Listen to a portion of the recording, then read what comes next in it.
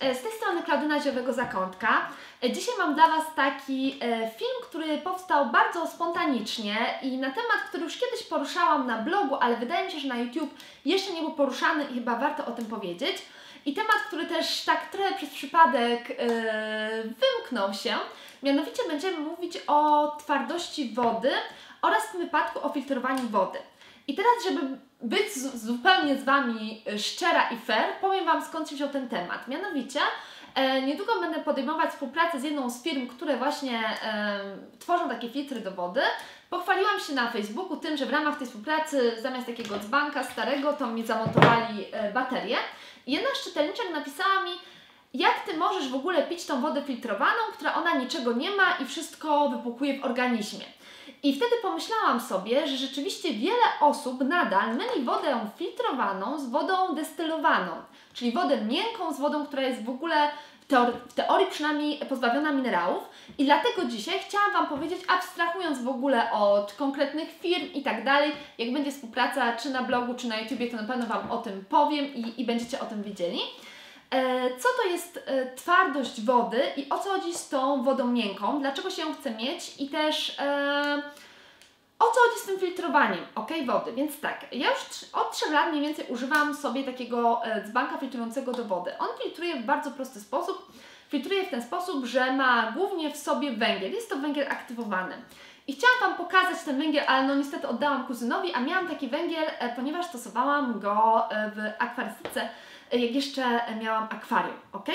I teraz tak, po co nam jest woda miękka? Jeżeli będziecie się ze mną bawić w kosmetyki naturalne, czy będziecie się bawić w fermentację, to woda miękka, e, czy w ogóle w rzeczy związane z em, wykorzystaniem ziół, to woda miękka się Wam bardzo przyda. Dlaczego? Ponieważ przede wszystkim w kosmetykach używa się właśnie wody miękkiej, wod, e, wód kwiatowych różnych, które też są z wodą miękką, e, albo wody e, destylowanej. Uważa się je po prostu za łagodniejsze dla skóry. A druga sprawa jest taka, że jeżeli się e, fermentuje, albo jeżeli się robi na przykład ziołowe herbaty, to łatwiej jest ekstrahować cokolwiek w wodzie miękkiej niż w wodzie twardej. I każdy, kto miał bardzo twardą wodę, na przykład wiem, że na Mazurach niektórzy mają bardzo, bardzo twardą wodę, to wie jak wygląda herbata robiona w wodzie twardej, jak się zmienia kolor i tak dalej, i tak. Więc jeżeli będziecie chcieli te rzeczy robić, to w jaki sposób tą wodę miękką pasuje e, Wam uzyskać. Możecie, może po prostu macie wodę miękką. Możecie zbierać deszczówkę, jeżeli mieszkacie w miejscu, gdzie deszczówkę e, da się zbierać. Ja pod Krakowem deszczówki nie zbierała, chociaż no w sumie nie wiadomo skąd e, tutaj przybyła. Możecie filtrować przez jakiegoś tam e, rodzaju e, filtry, no ale możecie sobie odpuścić i po prostu robić wodę twardą, ale na przykład jeżeli będziemy robić mydła i użyjecie wody twardej, to musicie liczyć z tym, że mm, w niektórych przypadkach może Wam mm, taki, o tym jeszcze będziemy mówić, ale mogą Wam na przykład wyskoczyć takie pomarańczowe plamki na mydle, co jest związane właśnie z twardością wody.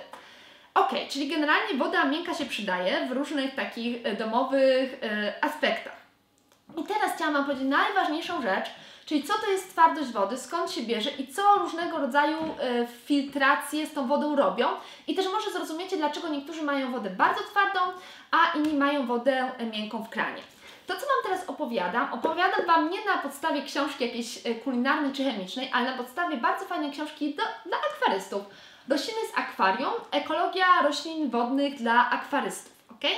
I e, każdy, kto kiedykolwiek zajmował się akwarystyką troszeczkę poważnie, to znalazł się właśnie na pewno w środku problemu związanego z twardością wody. Kupujecie specjalne testy na twardość wody, ja dzwonią nawet do wodociągów, żeby po prostu posprawdzać, bo znajomość twardości wody jest konieczna do tego, żeby wiedzieć, jakie gatunki e, rybek sobie po prostu możemy hodować, bo są rybki, które lubią bardzo miękką wodę i będą się tam rozmnażać, dobrze czuć, a są takie, które lubią bardzo e, wodę e, twardą. Więc to jest jakby pierwsza rzecz i na tej podstawie będę Wam mówić. Co to znaczy, że woda w ogóle jest twarda? No bo woda to jest niby H2O, nie? Czyli dwie cząsteczki wodoru i cząsteczka tlenu. Ale w takiej czystej formie raczej nie występuje. Twardość wody to jest to, ile w tej wodzie jest różnego rodzaju minerałów. I określa się głównie przez dwa minerały, ok? I to jest e, wapń i magnez. Jakby stężenie tych minerałów e, oznacza, czy woda jest twarda, czy miękka. I im ich jest więcej, to tym ta woda jest e, twardsza, a im jest ich mniej, to tym ta woda jest mniej, e, mniej twarda. I to tłumaczy, dlaczego na przykład woda ze studni głębinowej czasami jest bardzo twarda, bo ona jest przepuszczana przez właśnie, nie zawsze tak jest, tak, ale ona jest przepuszczana przez warstwę minerałów. Tam, gdzie jest właśnie e, dużo, dużo tych minerałów, tam woda będzie zazwyczaj e, twardsza. Natomiast woda pozbawiona wapnia i magnezu w jakimś tam stopniu będzie wodą bardziej miękką. Jednostkami, które określają, mm, które, nie mam niestety tablicy, nie? E, które określają twardość wody, to, jest, e, to są jednostki, nazywają się ppm, to znaczy parts per million, jeżeli dobrze tłumaczę, bo wiecie, też nie jestem chemikiem, jeżeli coś dajcie znać, to znaczy części na e, milion. Ile części, ile cząsteczek na przykład wapnia znajduje się na milion cząsteczek wody, czyli to jest po prostu określenie stężenia. I mamy dwie, dwa parametry, które określają twardość wody. Jest to twardość ogólna i twardość węglanowa. Twardość węglanowa Was nie obchodzi, chyba że macie akwarium, ponieważ ona jest związana z pH. Jeżeli tam to pH jest niestabilne, to ona może się zmieniać i tak dalej, i tak dalej. To zostawiamy. To nie jest kanał na akwarystów jeszcze. Natomiast twardość, która nas głównie interesuje i jest w miarę stała, to jest twardość węglanowa, którą oznacza się jako GH. To są stopnie niemieckie GH. KH to jest węglanowa, a GH to jest stopnie ogólne. I tutaj sobie zapisałam, co to tak naprawdę znaczy. To oznacza, że tych cząsteczek, czyli tutaj mamy wapń, tak, jeden stopień GH tej twardości niemieckiej to jest 17,8 mm, cząsteczek y, CaCO3 ppm na y, milion cząsteczek wody. I to jest właśnie jeden stopień. Jeżeli mamy od 1 do 4 stopni twardości wody, E, to oznacza, że nasza woda jest bardzo miękka. W Polsce jest to bardzo rzadko spotykana woda i najczęściej tak miękką wodą jest deszczówka. I dlatego też e, ryby na przykład, przepraszam, że jak ciągle ryby, ryby, no ale do tego się mogę odnosić. E, ryby z lasów tropikalnych, na przykład z Amazonii, a one właśnie preferują wodę miękką, bo tamtej wody miękkiej dużo jest. Potem jest woda taka lek jeszcze miękka do średnio twarda, taka jeszcze średnio miękka, powiedzmy do 10 GH. Później mamy średnio twardą. E, ja na przykład mam u siebie 15 GH w Krakowie, to znaczy, że to jest woda średnio twarda pod twardą.